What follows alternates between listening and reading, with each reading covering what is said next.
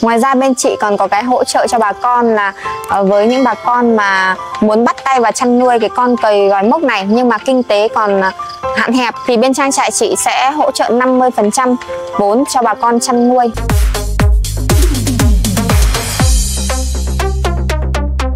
Chào mừng quý bà con và các bạn đã quay trở lại với kênh làm giàu cùng chuyên gia. À, hiện nay thì như bà con cũng đã biết trên cả nước có rất là nhiều những cái mô hình chăn nuôi động vật hoang dã rất là phát triển. Bên cạnh những đống mày dâu rất là thành công thì bên cạnh đó cũng có rất là nhiều chị em phụ nữ dám nghĩ dám làm và đã thành công với cái mô hình chăn nuôi con kẻ về mốc này. Điển hình trong số những người phụ nữ đó thì có chị Nga là một trong số những người rất là thành công với cái con kẻ về mốc này tại tỉnh Tuyên Quang mình. Và ngay sau đây thì tôi sẽ kết nối bà con gặp gỡ chị Nga để chị Nga sẽ đồng hành cùng kênh làm giàu cùng chuyên gia chia sẻ tới quý bà con về cái mô hình giá trị này ạ. À, em chào chị ạ. Chào em nhé. Dạ, à, chị Nga ơi, chị Nga có thể giới thiệu đôi chút về bản thân mình để cho bà con trên cả nước có thể biết đến chị cũng như là biết đến cái mô hình của mình không ạ? Tôi xin tự giới thiệu, tôi tên là Nga. Tôi đang hiện tại thì tôi đang đứng tại trang trại chăn nuôi cầy vòi mốc của tôi, có địa ờ, chỉ tại à, Sơn Dương Tuyên Quang ạ.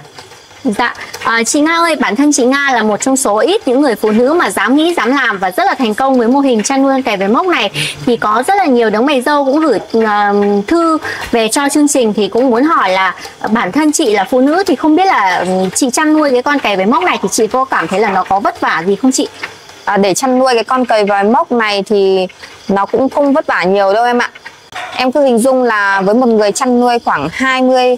cặp uh, cầy vòi mốc này thì buổi sáng mình cũng bỏ ra khoảng 30 phút buổi chiều thì cũng khoảng tầm 30 phút em ạ. Dạ có nghĩa là cái thời gian mà mình bỏ ra chăn nuôi cầy vòi mốc này tốn rất là ít đúng không ạ? Đúng rồi. vậy thì chị có thể chia sẻ cho em được biết là một ngày thì khi mà chăn nuôi cầy vòi mốc này thì mình lại cần làm những công việc gì mà nó lại tốn ít thời gian như thế hả chị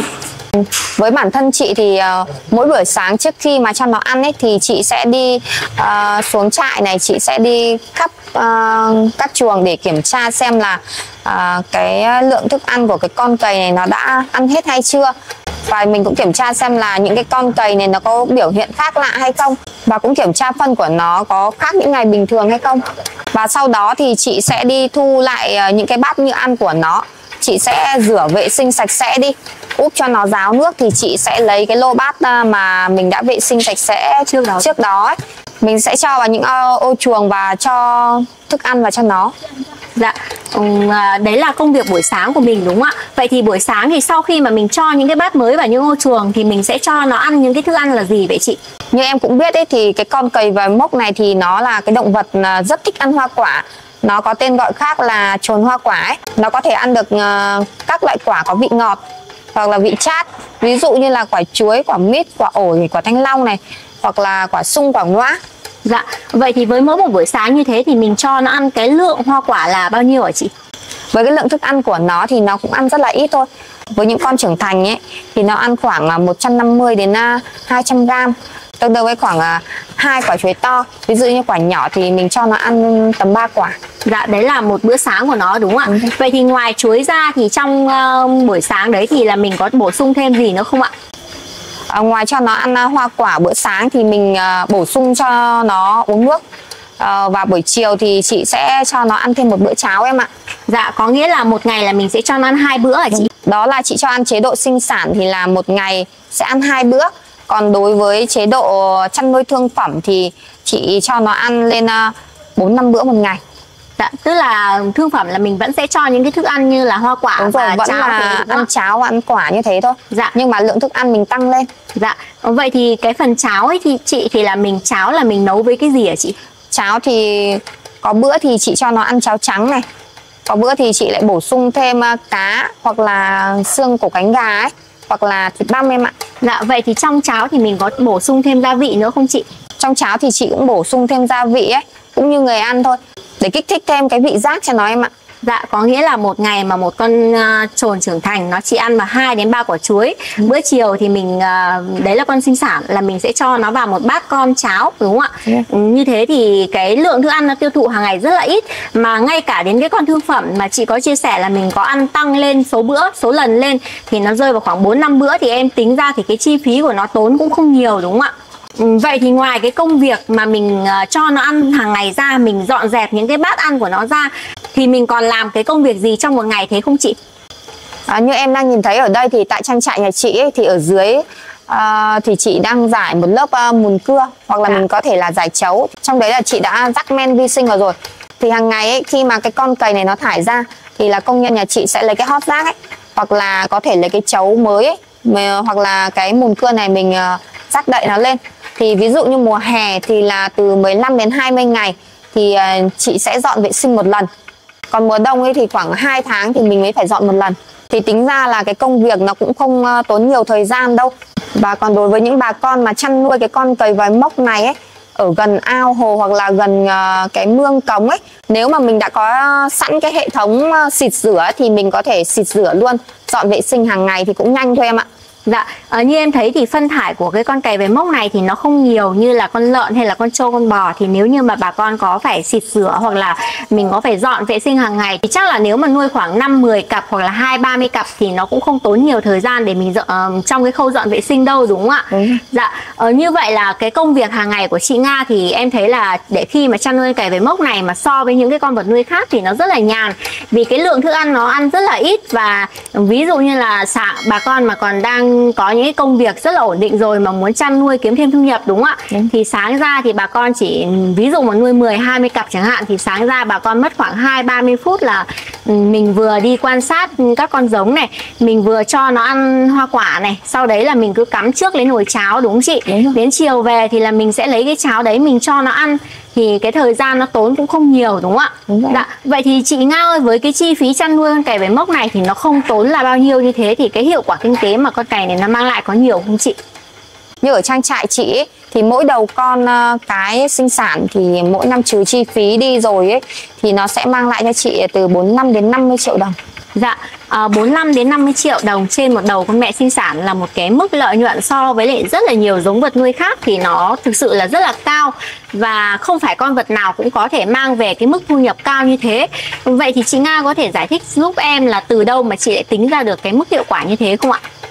À, như em đi làm chương trình nhiều thì em cũng biết cái giá trị của cái con cầy này ngoài thị trường thì nó rơi vào đâu đấy khoảng 2 triệu tư và đến 2 triệu rưỡi một cân em ạ khi mà mình chăn nuôi thuần hóa tại à, trang trại này ấy, mình bổ sung được đầy đủ ờ, thức ăn cho nó này bổ sung đầy đủ được dưỡng chất ấy thì mỗi năm thì cái con cầy à, cái sinh sản nó sẽ đẻ là hai lứa. Mỗi lứa thì nó sẽ đẻ từ 4 đến 6 con.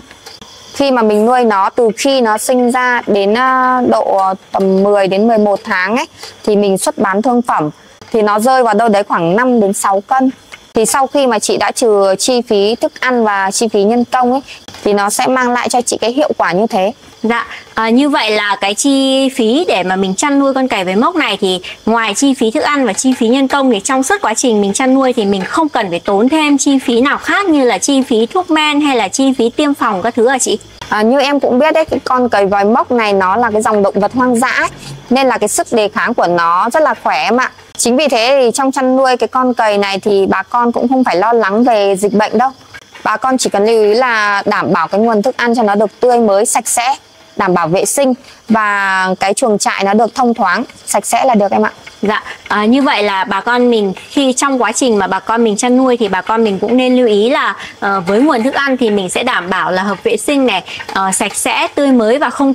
mình có thể là mua những cái loại thức ăn rẻ tiền đúng không chị? Đúng. Nhưng mà tuyệt đối là không cho nó thức ăn thừa, thức ăn ôi thiêu hỏng hóc đúng không ạ? Ừ. Thì nó sẽ đảm bảo được sức khỏe của con cày này rồi. Vậy thì bản thân chị Nga là người với nhiều năm kinh nghiệm trong chăn nuôi và như cái con cày này thì cái giá trị nó rất là cao nên là với bà con thì chăn nuôi con cày này thì nó có là một cái giống vật nuôi rất là mới lạ như thế này thì khi mà bà con muốn bắt tay vào chăn nuôi thì chị có lưu ý gì cho bà con không ạ? Chị cũng lưu ý với bà con là à, vì bà con là người mới chưa hiểu biết gì về chăn nuôi cái con cầy vòi mốc này ấy thì à, bà con à, nên đến trực tiếp những cái trang trại để mình có thể học hỏi à, tiếp thu những cái kinh nghiệm về chăn nuôi cái con à, cầy vòi mốc này. Dạ, ừ, đúng như chị Nga chia sẻ thì là bà con là người mới mà mình lại chưa nắm được những cái kỹ thuật chăn nuôi rồi thì mình cũng nên đi thực tế tại trang trại để khi mà mình nắm bắt được kỹ thuật chăn nuôi rồi thì mình bắt tay vào chăn nuôi nó mới không bị bỡ ngỡ đúng không ạ? Ừ, bản thân chị Nga thì là chị đã cung cấp con giống cho bà con nhiều năm nay rồi đúng không ạ? Thì khi mà bà con tìm đến trang trại chị thì chị sẽ um, chia sẻ cái kỹ thuật chăn nuôi cho bà con như thế nào ạ? Và cái khác biệt khi mà bà con đến à, trang trại nhà chị ấy, chị sẽ không chỉ à, chia sẻ lý thuyết không. Chị sẽ mời bà con đến à, trực tiếp trang trại nhà chị để thực hành luôn tại trang trại. Khi đấy thì bà con có thể trực tiếp xem là mình sẽ làm những cái ô chuồng này như thế nào và sẽ cho nó ăn bao nhiêu là đủ bao nhiêu là thừa. Và bà con cùng với kỹ thuật bên chị sẽ cho nó ăn uống như thế nào và sẽ theo dõi trong cái thời kỳ là uh, ghép đôi phối giống cho nó và sau sinh như thế nào em ạ? À, như vậy là khi mà bà con mà tìm đến trang trại chị uh, Nga là chị Nga không chỉ là mình chia sẻ về lý thuyết để bà con học được lý thuyết rồi này bà con sẽ được không gì bằng là mình thực hành đúng không ạ? Ừ. Gọi là chăm hay không bằng tay quen đúng chị? Là bà con sẽ được xuống tận trang trại chị Nga này bà con cho ăn con cậy với mốc này thì khi xuống trang trại rồi thì dĩ nhiên là bà con sẽ được quan sát những cái cách thức làm chuồng trại này rồi đúng không ạ? Thì bà con khi mà về triển khai thì mình sẽ làm nó rất là đơn giản thôi. Và đặc biệt là mình sẽ được quan sát và mình thực hành ngay những cái công việc hàng ngày của chị Nga tại trang trại. Thì như thế thì bà con nắm bắt cái kỹ thuật nó sẽ đơn giản nhất và nó sẽ hiệu quả nhất đúng không ạ? À đúng rồi em ạ, khi mà bà con đã nắm bắt được cái kỹ thuật trong tay ấy thì chị mới dám bàn giao cái con giống cho bà con. Và khi mà bà con về làm chuồng trại ấy, nếu như cần tư vấn thì bên chị sẽ cho kỹ thuật đến hỗ trợ tư vấn và làm chuồng cho bà con. Và trong suốt quá trình bà con chăn nuôi thì chị sẽ luôn đồng hành cùng bà con. À, nên là bà con có thể yên tâm để bắt tay vào chăn nuôi cái con cầy vòi mốc này. Dạ, à, như vậy là khi mà bà con trong quá trình bà con chăn nuôi thì thời nay thì cái công nghệ thông tin nó rất là phát triển thì nếu mà mình có ở xa thì mình trong quá trình mà mình chăn nuôi thì mình hoàn toàn có thể gọi FaceTime hoặc là gọi Zalo thì như thế thì ừ, mình vẫn có thể là chia sẻ và trao đổi thông tin cho nhau được đúng không ạ? Thì bà con sẽ rất là yên tâm trong quá trình chăn nuôi khi mà chị Nga luôn sẵn lòng là mình đồng hành cùng bà con trong suốt quá trình chăn nuôi của mình đúng không ạ? À, vậy thì chị Nga ơi, vậy thì như đối với cái con cày với mốc này thì ngoài cái việc là mình sẽ đồng hành về kỹ thuật thì như chị cũng biết thì cái giá trị của con cày với mốc này nó rất là cao. Thì chị cũng vừa chia sẻ với em là nó đâu đấy là hai triệu tư hai triệu rưỡi một kg cơ. Thì có rất là nhiều bà con tại những cái vùng um, nông thôn nghèo thì bà con sẽ muốn chăn nuôi con này làm kinh tế nhưng mà bà con lại không biết là cái đầu ra cho con cày với mốc này nó ở đâu. Thì bản thân chị thì đã chăn nuôi nhiều năm cũng đã hỗ trợ bà con chăn nuôi nhiều năm. Thì chị có thể giúp bà con là giải đáp cái phần đầu ra của cái con cày với mốc này không ạ? À, như em cũng biết đấy thì là cái giá trị của con cầy này hiện tại nó cũng rất là cao. À, thì vừa, như trang trại nhà chị với quy mô lớn như này ấy thì chị đã có được cái thị trường cung cấp ra các nhà hàng khách sạn lớn. Chính vì thế với những bà con mà chăn nuôi nhỏ lẻ từ một hai cặp hoặc là à, từ 50 hoặc là trên 50 cặp thì cũng khuyên bà con là nên liên kết với trang trại nhà chị khi mà bà con đã liên kết trực tiếp với trang trại của chị ấy chị cũng xin ờ, thú thật với em là chị cũng có cái phần lợi nhuận trong cái phần bao tiêu cho bà con còn bà con thì sẽ không cần phải lo lắng về cái vấn đề đầu ra ở đâu dạ Ờ, vậy chị Nga ơi như chị có chia sẻ thì là cái con cày về mốc này thì ngoài thị trường hiện nay là 2 triệu tư đến 2 triệu rưỡi đúng không ạ? Vậy thì um, chị bao tiêu cho bà con là mình có lợi nhuận trong đấy vậy thì là mình bao tiêu cho bà con với cái giá là bao nhiêu vậy chị? Khi mà mình làm kinh tế thì mình cũng phải tính cái lợi ích ở trong đó. Vì không ai làm à, không công cho ai cái gì bao giờ em ạ. Với cái giá xuất ra ngoài thị trường à, như hiện tại thì là đang là 2 triệu tư đến 2 triệu rưỡi thì chị sẽ ký kết cái hợp đồng cho bà con với giá hiện tại là từ 2 triệu mốt đến 2 triệu 2 một kg. Dạ, à, như vậy thì ờ, mặc dù là chị có chia sẻ là um, tức là mình làm cái gì mình cũng có phần trăm lợi nhuận trong đó thì mình mới làm và mình hợp tác thì nó mới lâu dài được. Tuy nhiên thì xuất ra em thấy là sự chênh lệch giữa giá xuất ra và giá mà mình bao tiêu cho bà con thì nó cũng không phải là chênh nhau quá nhiều vì là sau khi mà mình trừ đi cái chi phí uh, đi lại xe cộ rồi thì đâu đấy thì mình cũng còn khoảng là khoảng một hai trăm nghìn trên một đợ, ờ, kg thôi thì nó cũng không phải là quá là ép giá bà con đúng không ạ? Và như vậy thì bà con mình sẽ yên tâm về cái vấn đề đầu ra không cần phải lo lắng về vấn đề tìm đầu ra. Và cái mức giá này thì khi bà con tính lên cái lợi nhuận thì chăn nuôi cái con cày với mốc này nó vẫn là một cái giống vật nuôi mang lại cái hiệu quả kinh tế cao hơn rất là nhiều lần so với những cái con vật nuôi khác rồi đúng không ạ? Dạ, ờ, chị Nga ơi, vậy thì khi mà chị ký kết hợp đồng bao tiêu cho bà con thì cái thời hạn mà mình cam kết bao tiêu cho bà con? Nó có được ổn định có được lâu dài không chị? Cái hợp đồng mà ký kết uh, bao tiêu cho bà con nhà chị sẽ ký từ 10 đến 15 năm em ạ. Dạ, ừ, vậy thì trong cái bản hợp đồng này thì mình có cái lưu ý gì ở trong đó không chị? Trong cái bản hợp đồng này thì chị có một lưu ý cho bà con là chị sẽ bảo hành chất lượng con giống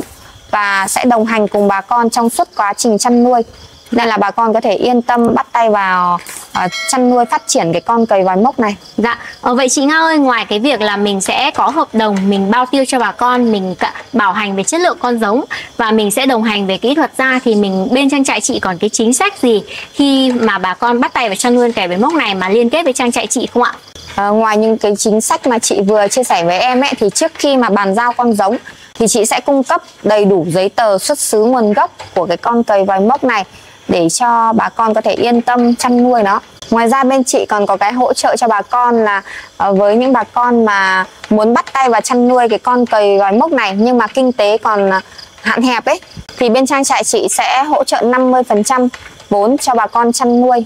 Dạ, à, như vậy là chị Nga cũng đã có rất là nhiều những cái chính sách, rất là nhiều những cái hỗ trợ và nhất là cái hỗ trợ là sẽ đầu tư 50% à, ờ, vốn đúng không ạ cho những bà con mà muốn chăn nuôi phát triển kinh tế từ con cày về mốc này nhưng lại chưa đủ kinh tế đúng không ạ? Dạ, à, nếu như bà con nào đang quan tâm đến bất kỳ cái chính sách nào của bên trang trại chị Nga hoặc, hoặc là có thắc mắc hay là muốn tìm hiểu kỹ hơn về cái con giống cày vải mốc này thì có thể là liên hệ trực tiếp cho chị Nga theo số điện thoại đang được ghim trên góc màn hình hoặc là đến trực tiếp trang trại chị có địa chỉ tại Sơn Dương, Tuyên Quang. À, em cũng thay mặt bà con và thay mặt chương trình rất là cảm ơn những chia sẻ của chị Nga trong chương trình hôm nay ạ. Cảm ơn quý bà con và các bạn đã đồng hành cùng kênh trong chương trình hôm nay. Xin chào và hẹn gặp lại quý bà con trong những chương trình tiếp theo trên kênh làm giàu cùng chuyên gia.